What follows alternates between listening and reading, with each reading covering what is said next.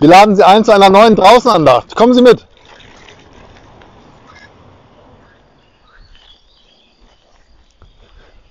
Liebe Freunde und Freunde unserer Draußenandachten, seien Sie ganz herzlich willkommen zu einer neuen Andacht. Kennen Sie das? Sie fühlen sich unfrei, Sie möchten gern frei sein, aber Sie fühlen sich plötzlich innerlich unfrei wie in einem Gefängnis. Mir leuchtet das sehr ein. Man hat Angst, das Leben hinter Gittern zu verbringen. Man hat Angst, wie in einem Gefängnis zu sein, wo Alltag und Gewohnheit einen gefangen nehmen und man an dem Eigentlichen im Leben vorbeilebt. Das ist ja das, wovon uns auch die Bibel warnt, dass man das eigentlich im Leben versäumt und sich um Unwichtigkeiten kümmert. Ich wünsche Ihnen eine befreiende Andacht. Amen. Hören wir zu unserem heutigen Thema die heutige Bibelstelle. Es ist die Geschichte der dramatischen Rettung der beiden Apostel Paulus und Silas aus dem Gefängnis. Nachdem man Paulus und Silas hart geschlagen hatte, warf man sie ins Gefängnis und befahl dem Aufseher, sie gut zu bewachen. Als er diesen Befehl empfangen hatte, warf er sie in das innerste Gefängnis und legte ihre Füße in den Block. Um Mitternacht aber beteten Paulus und Silas und lobten Gott und sangen. Und die Gefangenen hörten sie. Plötzlich aber geschah ein großes Erdbeben, so dass die Grundmauern des Gefängnisses wankten. Und sogleich öffneten sich alle Türen und die Fesseln fielen ab. Als aber der Aufseher aus dem Schlaf auffuhr und sah die Türen des Gefängnisses offen stehen, zog er das Schwert und wollte sich selber töten. Denn er meinte, die Gefangenen wären entflohen. Paulus aber rief laut, tu dir nichts an, denn wir sind doch alle hier. Da forderte der Aufseher ein Licht und stürzte hinein und fiel zitternd Paulus und Silas zu Füßen. Und er führte sie heraus und sprach, liebe Herrn, was muss ich tun, damit ich gerettet werde? Sie sprachen, glaube an den Herrn Jesus, so wirst du und dein Haus selig. Und sie sagten dem Aufseher das Wort des Herrn und allen, die in seinem Hause waren. Und der Aufseher nahm sie zu sich in derselben Stunde, in der Nacht, und wusch ihnen die Striemen, und er ließ sich und die Seinen sogleich taufen und führte sie in sein Haus und deckte ihnen den Tisch und freute sich mit seinem ganzen Hause, dass er zum Glauben an Gott gekommen war.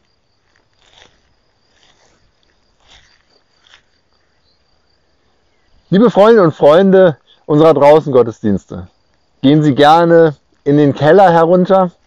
Ich eigentlich nicht so gerne. Dort fühlt man sich ja wie im Gefängnis. Paulus und Silas waren in genau so einem Gefängnis dunkel und muffig. Und manchmal, da geht es uns wie den beiden im Gefängnis. Dann fühle ich mich gefangen, machtlos und klein.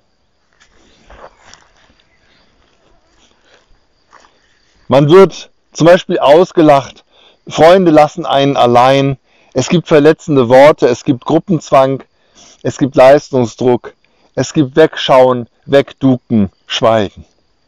Manchmal habe ich ganz schön Angst vor dem Morgen und was da kommt. Eine überfällige Entschuldigung, ein Arzttermin, ein Geständnis, eine schwierige Bitte. Die dumpfe Höhle irgendeiner schlimmen Angst. Wer nimmt mir die Angst in solchen Augenblicken? Wer hält meine Hand? Wer zerbricht mir meine Ketten? Und wer reißt die Kerkertür ein? In unserer eben gehörten Bibelgeschichte waren Paulus und Silas mit Feuereifer unterwegs. Sie erzählten den Menschen von Jesus, sie kamen ins Gespräch, sie hörten den Menschen zu, so wie Jesus es ihnen gezeigt hatte. Schließlich wurden die beiden aber ins Gefängnis geworfen. Aber sie verloren ihren Glauben nicht. Im Gegenteil, ihr Glaube machte sie frei und nicht nur sie, auch uns. Und dann kann es sein, mitten in der Nacht, und wenn es die schwärzeste Stunde wäre, in einem Loch, in einer Kammer, im Dunkeln, dass Mut aus deinem Herzen aufsteigt und du singen kannst und die ist, als ob deine Fesseln von dir abfallen und plötzlich Türen offen stehen, die verschlossen waren. Das berührt mein Herz und macht mich mutig, trotzig und widerständig.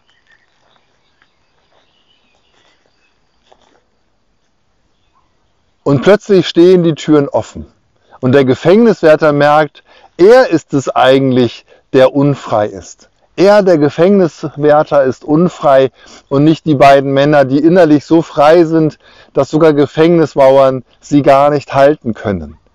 Der Gefängniswärter merkt, er ist es, der unfrei ist. Und er fragt die beiden, ihr Herren, was muss ich tun, damit ich gerettet werde? Rettung und zwar nicht nur vor der offensichtlichen Bestrafung, die ihm droht. Der Aufseher weiß gleich, diese beiden Männer, die sind meine Chance. Die Chance, aus meinem eigenen, aus meinem inneren Gefängnis herauszukommen. Und zwar mit Hilfe von Paulus und Silas, die zwar äußerlich gefangen waren, aber im Inneren vollkommen frei waren. So frei, dass sie mitten in der Nacht, mitten in einer komplett ausweglosen Situation Loblieder singen konnten. Ich kann den Gefängniswärter gut verstehen. Seine Zwänge, die Zwänge, in denen ich als Mensch feststecke, die äußeren Umstände und die inneren Antreiber. Es ist ein Wunder, wenn Gott es dann möglich macht, dass Ketten zerspringen und Mauern ins Wanken geraten. Es ist ein Wunder, wenn Menschen die innere Freiheit erleben. Der Gefängniswärter, das könnte ich sein oder ihr, befreit dazu, unser Leben nun frei zu leben, verantwortlich gegenüber Gott zu leben. Schauen, wo wir auch anderen aus ihren Gefängnissen helfen können, wie auch immer das denn aussieht. Gott wird schon für die nötigen Wunder sorgen. Und dann ist alles andere egal. Dann wage ich mich raus aus meinem Gefängnis, steige aus meinem schützenden Kerker, dann mache ich mich angreifbar, dann mache ich mich eben verletzlich. Dann schaue ich nicht mehr weg, ich suche nicht mehr den Windschatten, ich mache mich nicht klein und ich werde nicht leise. Ich trotze der Angst und wage es zu laufen und zu träumen. Kannst du aus dem Kerker herausgehen? Hast du den Mut, den Schritt? Trau dich. Komm hin. Du musst es nicht allein tun, du musst es nur wagen. Musst den Ruf nur hören, nur die Hand ergreifen. Sie steht dir entgegen, immer schon und immer fort. Komm, bist du bereit? Nimm dir mit als Vorrat in die Tage, die kommen. Als Wegzehrung, als Mutvorrat, als verrückte Idee, als unverrückbare Wahrheit.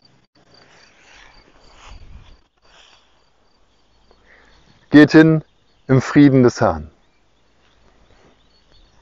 Gott segne dich und behüte dich. Gott lasse leuchten sein Angesicht über dir und sei dir gnädig. Gott erhebe sein Angesicht auf dich und schenke dir Frieden. Amen. Ich wünsche Ihnen einen befreienden Sonntag. Mit meinem Gott kann ich über Mauern springen,